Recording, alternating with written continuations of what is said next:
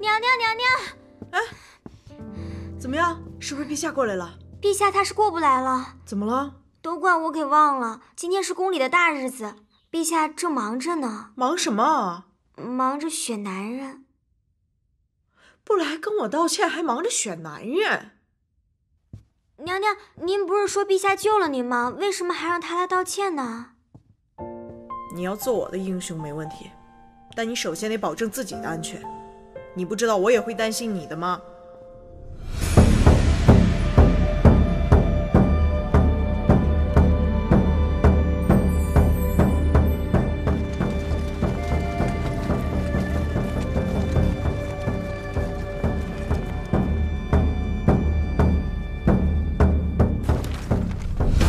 参见陛下。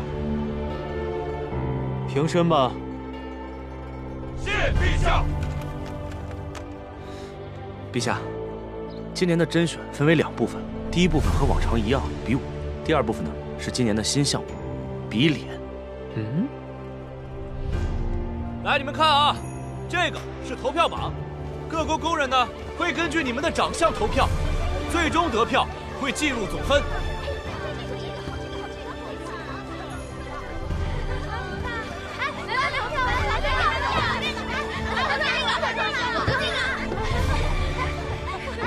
这规矩谁定的？回陛下，这个是太后娘娘定的。她说这宫里的侍卫是一年不如一年了，影响了宫容，不像话。哎，母后也真是的，怎么能以貌取人呢？去，把这个摘了。陛下，这找几个容貌好的也不是什么坏事儿，您看着也高兴啊，对吧？让你摘了，你哪那么多废话？今天是朕选人，只看心不看脸。哦，哎，等会儿，嗯，于长雅怎么还不来啊？于，哎，来了来了，陛下。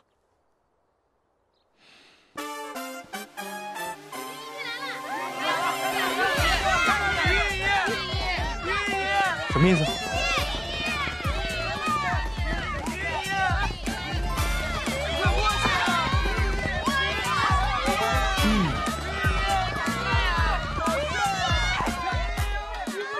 我去，妖孽，果然是妖孽！没想到咱们宫里的人都被他……哎哎哎，陛下！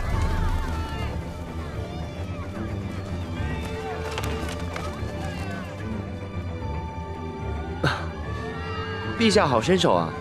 不知道陛下今天让臣过来有什么事情吗？于御医，素闻你剑术极高，朕今天跟你比试一下，也好给这些未来的御前侍卫打个样。乐意奉陪。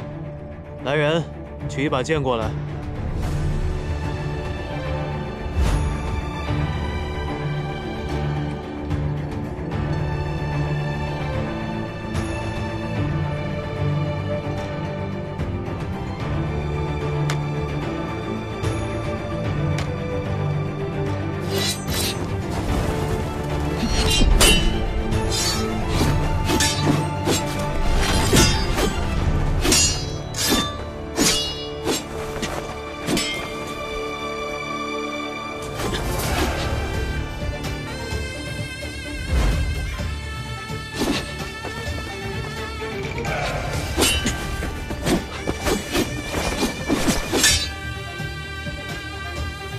你喜欢金凤？从我见到她第一眼开始，你们俩定亲了。早在你之前，我再多告诉你一件事情：之前宣郎写给金凤的信都是我代笔写的，所以严格意义上来说，他心里爱的那个宣郎是我。住手！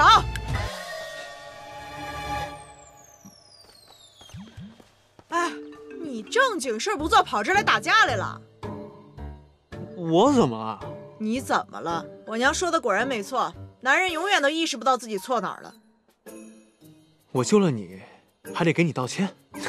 看见了吧，自以为是。现在在皇后心目中，谁是英雄，谁是狗熊，一目了然了。你闭嘴，和你有什么关系啊？你以为想做我的英雄就能做了？我的英雄得我自己做主。还有啊，我的男人只能我自己骂，别人敢骂一句试试？听见了吗？你你也太自以为是了。你以为你单独行动就很帅吗？你以为你是皇上你就了不起啊？可以不考虑我的感受了。你以为在我危险的时候出来替我挡一下你就是英雄了？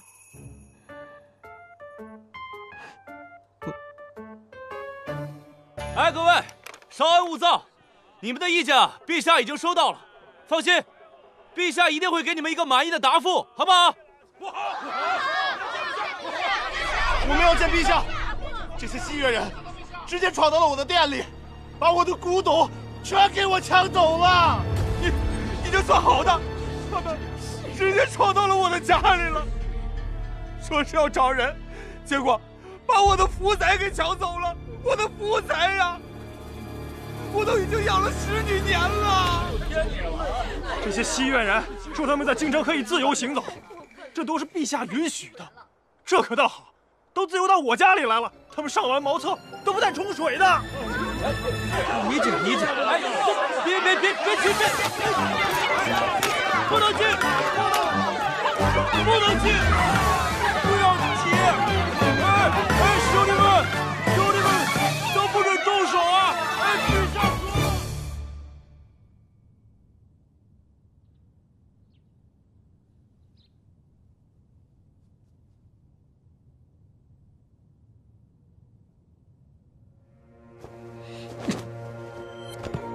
方大人，臣在。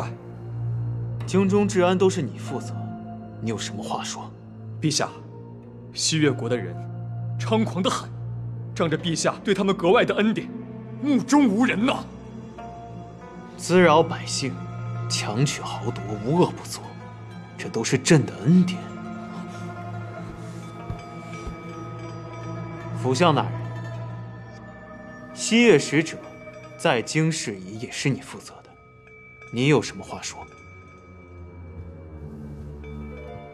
陛下，稍安勿躁，臣能保证，西越国使者扰民的事儿不会再发生了。辅相大人这是想到了应对之法？不用想法子。为何？因为今天早上使者已经走了。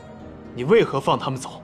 陛下，忍一时风平浪静的道理，臣不说，你也应该懂的。一点小事，何必要弄到无法收场呢？小事？百姓之事，在府相眼中竟是小事。那以府相看来，这件事就这么算了？我怎么看不重要，他们怎么看才重要。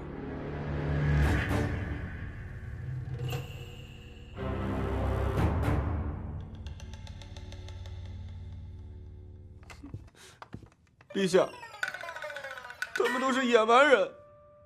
苏将军，一句野蛮人就能推卸责任，你这御前侍卫当的倒是容易。百姓们这么闹，到底诉求什么呀？臣就是这么问的呀，可他们根本就不听臣说的，我也不知道他们想干嘛呀。说来说去就那一句话。什么话呀？他们说要陛下给他们一个说法。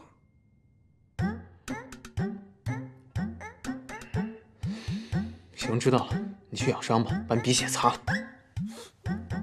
这，